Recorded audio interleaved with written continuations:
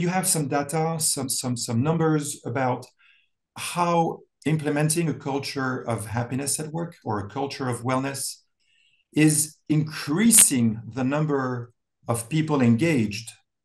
Yeah we know that there's a there's a, a, lot of good examples of organizations that put a lot of emphasis and and put a lot of time and, and love and money into their culture that they have a, a much bigger percentage of people that are engaged we usually use this this model of the a players. Do you know that? Are you Please familiar with that?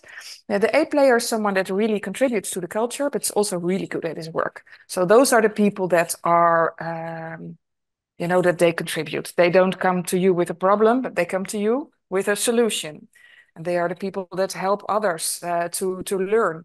Uh, and i think if you as an organization look at what kind of people do we really need i mean do we have a list of stuff that someone needs to be able to do but if you also look at the contribution that they can make to your culture um, then you are also much you know much better in finding the people that really fit for you and if if someone is not an a player Maybe they still have to learn to become an A player.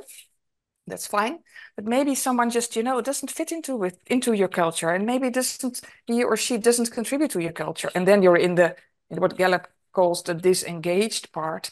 And I think it's really important to be very critical uh, about do you really, really need those people? Because we also know that having those negative uh, and uh, yeah, not supportive people in your organization is very damaging for the rest.